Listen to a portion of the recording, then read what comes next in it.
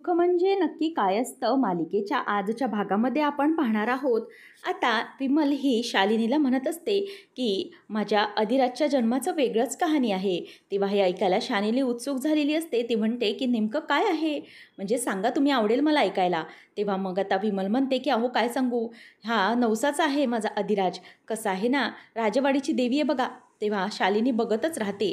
ती म्हणते की राजावाडीची देवी आहे ना तिला मी नवस केला होता की मला मुलगा होऊ दे आणि त्या नवसामुळेच माझा अधिराज जन्माला आला.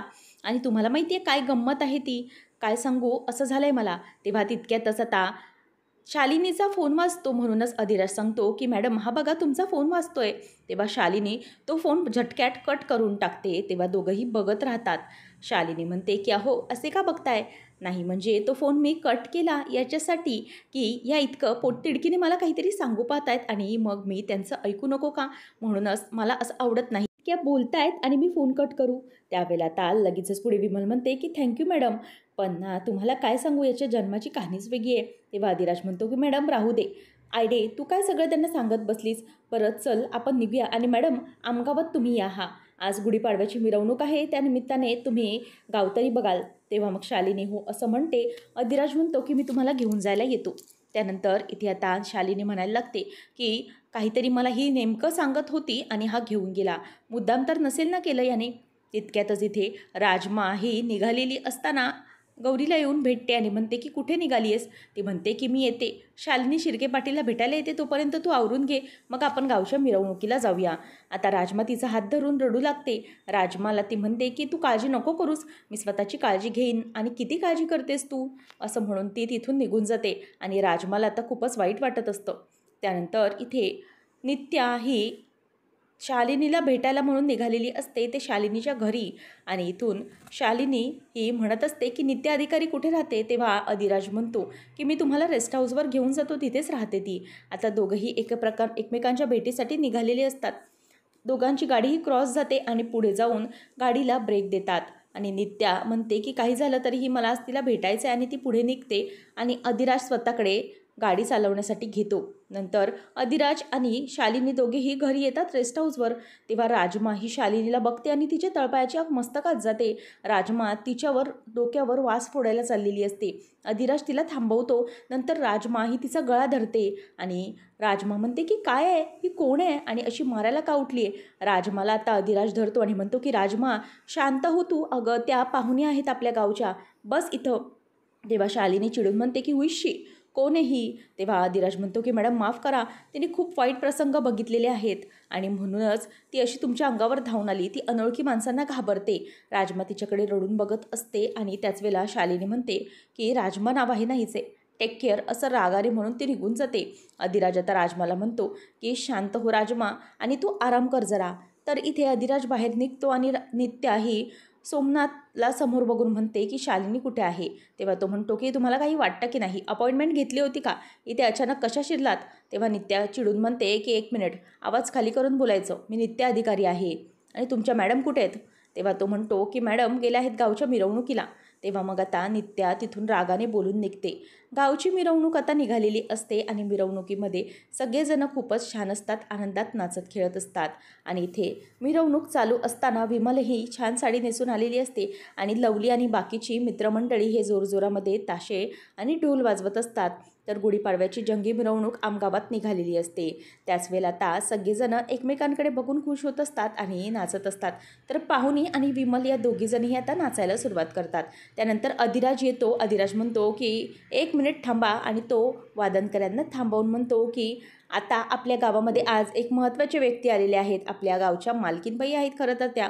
शालिनी शिर्के पाटील असं म्हणून आता शालिनीला तो बोलवतो. शालिनी गॉगल घालूनच बाहेर येते आणि सगळ्यांना नमस्कार असं म्हणत असते. त्याच वेळेला आता इथे शालिनीला बघून विमल म्हणते की मॅडम या तुम्हाला मी ओवाळते. तितक्यातच लवलीमध्येच जोरात ताशा वाजवतो आणि त्याच आवाजाने तिच्या विमलच्या हातून ताट खाली पडतं आणि ओवाळणी राहून जाते. आता ते ताट खाली पडल्यानंतर लगेचच पुढे त्या सगळ्या ताटाकडे बघायला लागतात. मग आता अधिराज म्हणतो की राहू दे पाहुणे एक काम कर दुसरं ताट घेऊन ये जा दुसरी ओवाळणी घेऊन ये. पाहुणी म्हणते की अरे अधिराज त्याला खूप उशीर होईल आता. तेव्हा लगेच शालिनी म्हणते की जाऊ दे काहीच हरकत नाही. काय ना ओवाळणी माझ्या नियतीमध्येच नाही आहे प्रत्येक वेळेला देव माझ्याकडून ओवाळणी काढूनच घेतो म्हणून मला इतकं काही वाईट वाटलेलं नाही. त्याच वेळेला आता इथे अधिराज म्हणतो की मॅडम हरकत नाही. तुमच्याकडून देवाने ओवाळणी काढून घेतली. मी तुम्हाला त्यापेक्षा मोठा मान देतो. तुम्ही आज गुढी उभारा. तेव्हा ती म्हणते की नको. पण तरीही अधिराज म्हणतो की नाही मॅडम. तुम्ही प्लीज गुढी उभारा गावासाठी. आता विमल तिच्या कळ्यामध्ये हार घालते आणि पुन्हा जोरजोरामध्ये ढोल त्याच्या वाजवायला सुरुवात होणार. तेव्हा लवली म्हणतो की मालकीनबाई माफ करा. ताट पडलं माझ्यामुळे. तेव्हा आता अधिराज म्हणतो की अरे आता सॉरी बोरू बोलू नकोस आता बडीव आणि सगळेजण जोरजोरात ढोल वाजवायला सुरुवात करतात. नित्य आता रेस्ट हाऊसवर पुन्हा येत असते तितक्यातच तिथून जोगतीन येते. जोगतीन आल्याबरोबर ती म्हणते की मी तुला सांगितलं होतं तुला तुझ्या मार्गामध्ये चुकू नकोस पण तू तुझा मार्ग चुकलीस. आणि पोरी सगळंच ग्रह फिरले बघ. काही दिवसांमध्ये किती चुकीचं घडलं आहे तेव्हा नित्या म्हणते की मी काय करू? नेमकं तू काय करतेस हे तरी मला सांग. त्याच वेळेला आता इथे जोगतीन म्हणते की मी जर तुला सांगितलं तर नियती कसली राहिली? नियतीचे हे कोडे तुला सोडवावे लागणार आहे आणि तुलाच या सगळ्यातनं बाहेर यावं लागणार. तेव्हा नित्या म्हणते की कशाबद्दल बोलतेस तू नेमकं? आणि हे सगळं काय? आणि ही जन्मकून हे सगळं का ठसठसतं आहे मला? आणि मध्येच मला का असं जाणवतं की मी या माणसांना अगोदर भेटली आहे या माणसांना अगोदर भेटल्याचा भास का होतो मला? आणि माझीच माणसं आहेत असं का वाटतं? तेव्हा आता जोगतीन म्हणते की याचा शोध तुलाच घ्यावा लागेल पोरी. देवी आई तुझ्या पुढे मोठं संकट आणि कोडं ठेवून आहे. याचं कोडं तुलाच सोडवावं लागल. देवी आईचा उदो उदो अंबाबाईचा उदो उदो असं म्हणून ती तिथून आता निघून जाते आणि म्हणते की तुलाच हे सगळं करावं लागेल. आणि त्याच वेळेला जेव्हा जोगती निघून जाते. नित्य विचार करते की हो हे कोडं आता मला सोडवावं लागणार आहे मला समजलेलं आहे. काही झालं तरीही यातून बाहेर पडल्याशिवाय मी काही शांत बसणार नाही. नित्य आता सगळ्याच गोष्टींचा सारासार विचार करायला सुरुवात करत असते. तर इथे रावसाहेब म्हणत असतो की मालकीनबाई अव लवकर या गावच्या सरपंचबाई बाहेर या लवकर. तेव्हा आता रावसाहेब आणि पिंट्या दोघंजणही वसुंधरा देवीच्या येण्याची वाट बघत असतात. ती आल्याबरोबर रावसाहेब म्हणतो की आल्या आल्या आपल्या गावच्या मालकीनबाई आल्या. सरपंच वसुंधरा देवी आल्या. आणि आल्याबरोबर आता इथे ती ही आजी चांगलीच मुरडत मुरडत बाहेर येते. त्याच वेळेला ती म्हणते की अरे पोरांनो काय चाललंय काय तुमचं? आणि आता लगेचच वसुंधरा बाहेर आल्याबरोबर पिंट्या म्हणतो की साहेब गावच्या मालकीनबाई आल्या आल्या आल्या असं म्हणून आता सगळे हसायला लागतात आणि नंतर तीही अगदी हात जोडून त्यांना नमन करायला लागते. दोघंही तिच्या जाऊन पाया पडतात. तेव्हा म्हणते की काय रे पोरांनो कशाला मस्का लावताय तुम्ही? तितक्यात ईशान येतो आणि म्हणतो की झालं गावच्या मालकीनबाई बदललेल्या आहेत. तेव्हा हे ऐकल्यावरती रावसाहेब चिडतो आणि ईशानला वसुंधरा म्हणते की अहो शारे साहेब काय बोलताय काय तुम्ही? तेव्हा तो म्हणतो की हो मी बरोबरच सांगत आहे. गावच्या मालकीनबाई बदललेल्या आहेत आता. या आमगावच्या तेव्हा रावसाहेब म्हणतो की कोणात इतकी हिंमत झाली की आमच्या आईसाहेबांचा मान काढून घेतला? आमच्या आईसाहेबांचा गुढीचा उभारण्याचा मान कोडी काढून घेतला? तेव्हा मग आता तिथे ईशान म्हणतो की अधिराज अधिराजने हे सगळं केलेलं आहे. तेव्हा असं म्हटल्यानंतर लगेचच पुढे वसुंधरा चिडते आणि तिच्या डोक्यात भरपूर मोठी तिडीक गेलेली असते. तर त्या पुढच्या भागामध्ये आपण पाहणार आहोत की गुढी उभारण्याचा कार्यक्रम सुरू झालेला असतो आणि त्यावेळेला अधिराज आता शालिनीला गुढी देतो आणि म्हणतो की मॅडम हा घ्या हा तुमचा मान आहे. त्यानंतर गुढी हातात घेत असताना शालिनीच्या हातून ती गुढी पडते आणि तितक्यातच तिथे नित्य येते आणि नित्या स्वतःच्या हाताने ती गुढी धरते. आणि नित्याला असं समोर पाहिल्यानंतर शालिनीला गौरीची जुऱ्या गौरीची आठवण येते आणि ती पटकन गौरी अशी हाक मारते.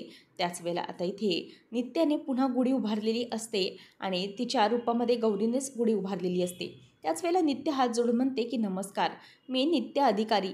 आता हे ऐकल्यानंतर लगेचच शालिनीला चक्कर येऊ लागतात आणि ती खाली पडते. अशाच मालिकांच्या अपडेटसाठी आजच आपल्या चॅनलला सबस्क्राईब नक्की करा.